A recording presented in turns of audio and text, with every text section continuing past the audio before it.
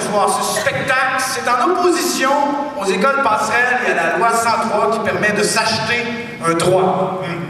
C'est pas supposé de pouvoir s'acheter un droit. Sauf si tu t'appelles Franco Fava, peut-être, mais encore. Et ce qu'on fait ce soir, c'est pas contre l'anglais en tant que langue non plus, hein? Parce que si on nous enlevait complètement l'anglais, imaginez, ça serait pas cool, hein? Serait bad, là, ça serait complètement fucked up. Ce n'est pas non plus, et encore moins, God forbid, une manifestation contre les Anglais. En tout cas, pas nos Anglais. Non! Non, non, non, parce que nos Anglais, c'est les plus cool du monde! absolument. Absolument, parce que pensez à ça. Les Anglais sont allés en Inde. L'Inde. Plus d'un milliard de personnes et 22 langues différentes. Ils ont tous appris l'anglais. Il n'y a pas un Anglais qui a appris une langue indienne. Et partout où ils sont allés en Afrique, il n'y a pas un Anglais qui a appris une langue de la place, hein? Mais tout le monde s'est mis à parler anglais. Australie, Nouvelle-Zélande, n'importe là. Si t'as une reine d'Angleterre, ça la pièce et eux dans le cadre dans le salon, tu parles anglais et rien qu'anglais. Sauf ici! Oui, car nos Anglais, nous autres, ils parlent français! Et ça, mes amis, c'est une victoire qu'on ne célèbre pas assez. Qui doit Non mais, ok, ok, bon, ok, aux Anglais, ils parlent pas toutes. Souvent, pas souvent bien. Il y en a que ça a l'air de forcer pas mal. Mais il y en a des Anglais qui parlent français. Il y en a, hein? Alors qu'ailleurs, il n'y en a pas. Mais pour ça, ça a pris des lois. Des lois qui, des fois, les Anglais voulaient pas au début, puis ben des Québécois non plus, parce que ça faisait chier du monde, puis du monde qui n'était pas habitué de se faire chier d'habitude. Alors, si on manifeste ce soir contre les écoles passerelles et la loi 103 qui dit comment y entrer, c'est parce qu'on pense que c'est important, en tant que société, qu'on se donne le droit d'en faire chier quelques-uns de temps en temps pour préserver la sérénité de tous. hein?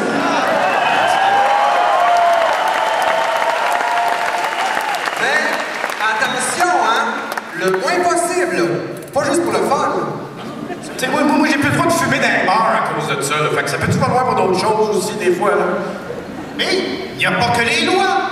On ne peut pas tout attendre des lois. Et si on veut que le français continue d'être la langue commune en société au Québec, il faut faire quelques gestes nous-mêmes.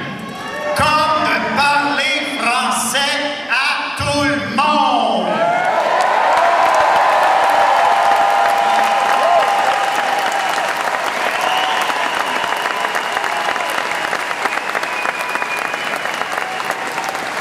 C'est tout simple, hein?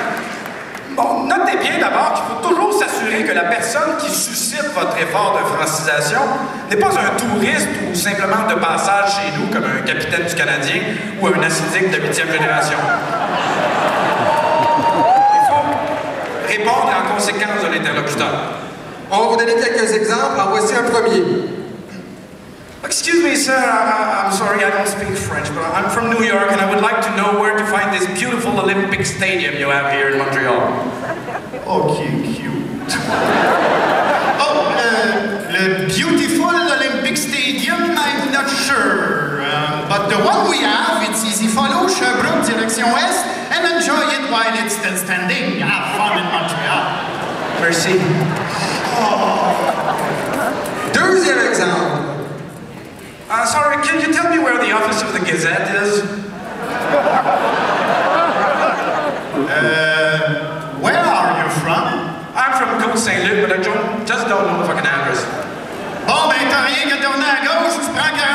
43, va te débarquer au coin de il y a une école de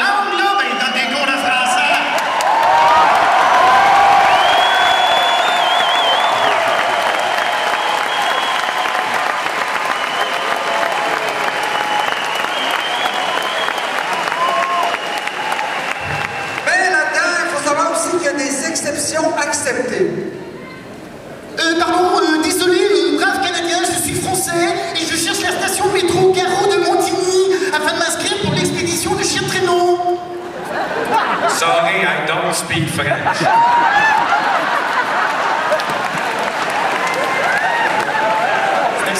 Ah, je sais, ça prend du guts, euh, des fois, pour insister de parler français, hein. On dirait que ça ne vient pas naturellement, mais on peut se pratiquer, hein. Et je pense que c'est ça qu'on va faire ce soir. Attention. En premier essai, good evening. L'idée, c'est de suivre l'intention du, du locuteur en anglais, mais en français. Good evening! Good evening! Bon, on- quand même, on sait aussi que des fois, il faut être indulgent. hein. Par exemple, c'est plus difficile pour les personnes âgées. Là, les vieilles habitudes, ça se change moins facilement. Alors, ben, ceux-là, euh, vous pouvez les envoyer chier en anglais. Non, non, non, non, non, non, non, non, mais tu sais, tu sais, Guy Lafleur, ils l'ont laissé jouer avec podcast jusqu'à la fin de sa carrière. là. Fait que, tu sais, il y a des droits acquis des fois, mais, tu sais, ça vaut pas la peine d'insulter des vieux. sais, faut gérer ça au cas par cas. L'usage de l'anglais peut être moralement justifié chez votre interlocuteur par un statut de touriste ou un déficit intellectuel quelconque. Sais, faut faire attention. Mais surtout, surtout, il faut résister à la tentation de switcher en anglais dès qu'on nous parle en français mais qu'on entend un petit accent. Le nombre de fois où on a vu des francophones faire ça, c'est hallucinant!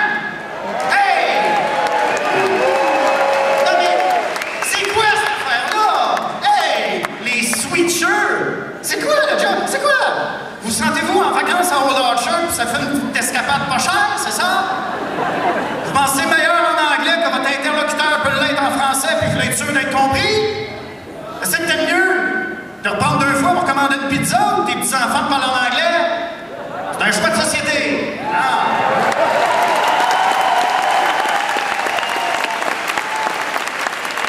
Mais en plus, le, le trois quarts du temps, ce monde-là, là, le- les accentés de la langue, ils veulent apprendre le français, hein? Mais dès qu'ils essayent, tout le monde se met à leur parler en anglais, hein? Écoute, c'est- plus pas vouloir déranger, ça. C'est pas vouloir exister. Puis le plus, c'est insultant pour eux autres, là. Ça leur donne l'impression qu'ils sont vraiment trop poches. Bon, des fois, c'est vrai, mais il faut les encourager un petit peu, là. Ils vont y arriver, tranquillement.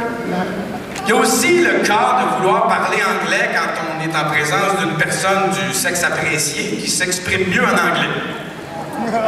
Oui, le sexe apprécié, c'est comme plus général, c'est ça. On a l'impression que ça hausse le niveau de conversation et qu'on a plus de chance. Peut-être. Mais il faut aussi se dire que si tu réussis à mettre ta langue dans sa bouche, t'es bien parti.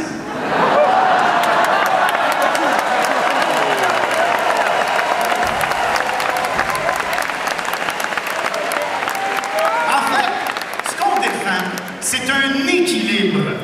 Parce qu'il y a beau y avoir une barrière linguistique à Montréal qui nous protège les uns des autres, récemment, on a l'impression que, comme on disait en parfait bilingue à Blue Bonnets, la barrière est en mouvement, the gate is moving. Et puis c'est peut-être pas du bon bord, fait qu'il va falloir la pousser un petit peu, hein? Mais ça n'empêche pas que les anglophones ont leur place au Québec. En fait, ils sont québécois. C'est juste que c'est dur pour eux de se l'avouer des fois. Alors, en cette période trouble nous pouvons nous affronter sur les lois linguistiques et peut-être même songer à l'innommable abominie stalinienne de la clause non-obstant, nous voulions rappeler à nos compatriotes de langue anglaise quelques faits qui nous réunissent. Oui, comme on est devant un auditoire francophone ce soir, évidemment, on va le faire en français. La traduction s'en vient, là, pour une fois que c'est eux autres qui attendent.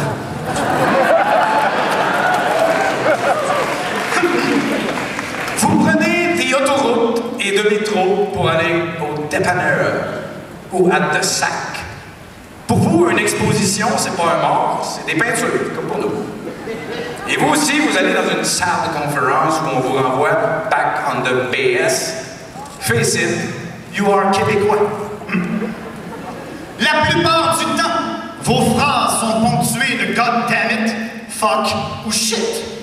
Mais quand c'est vraiment sérieux, il n'y a rien de mieux qu'un bon tabernacle. You are québécois. Vous aimez vous plaindre de la température. Vous aimez vous plaindre de la language police. Vous aimez vous plaindre de la façon que les francophones conduisent, mangent, décorent leur maison maison avec des abris tempo et des flamants roses et applaudissent quand l'avion de Puerto Plata atterrit à Montréal? Vous aimez vous plaindre de tout ce que le Québec a de trop différent ou de pas assez. En fait, vous aimez juste ça vous plaindre. Face it, you are Québécois.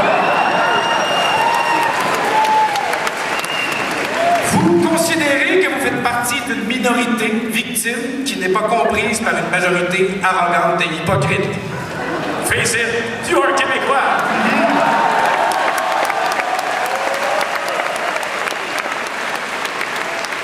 Vous êtes la seule communauté de langue anglaise au monde qui a été forcée d'apprendre la langue d'un peuple rival que vous aviez pourtant préalablement battu militairement.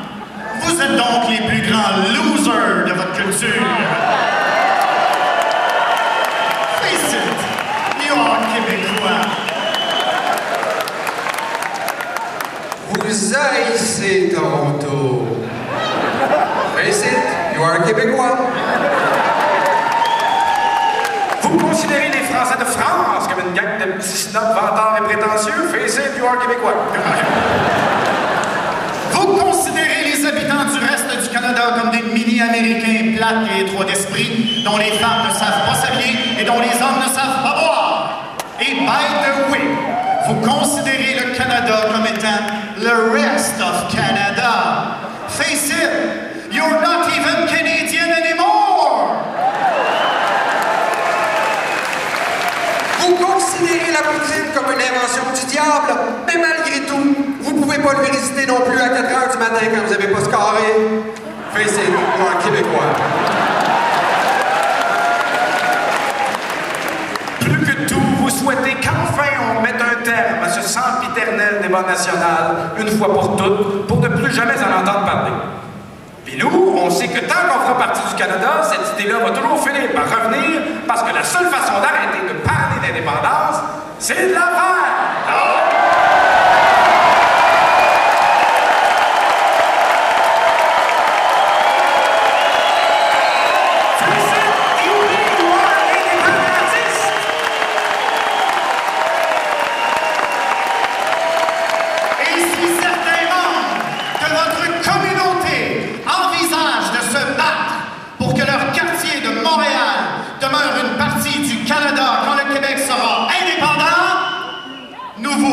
Que Schwartz Smoke Meat est situé du côté est de la rue Saint-Laurent.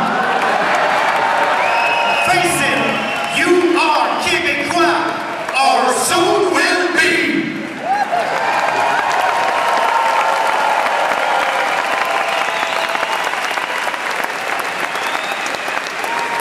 Ce qu'on veut dire, c'est que Leonard Cohen là, sera toujours compris dans sa langue maternelle dans la ville où il est né. hein.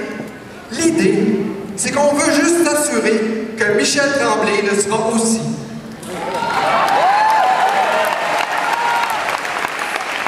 Quant à nous, il ne suffit pas de se demander ce que la loi 101 peut faire de plus pour nous. Demandons-nous ce qu'on peut faire de plus que la loi 101. Journée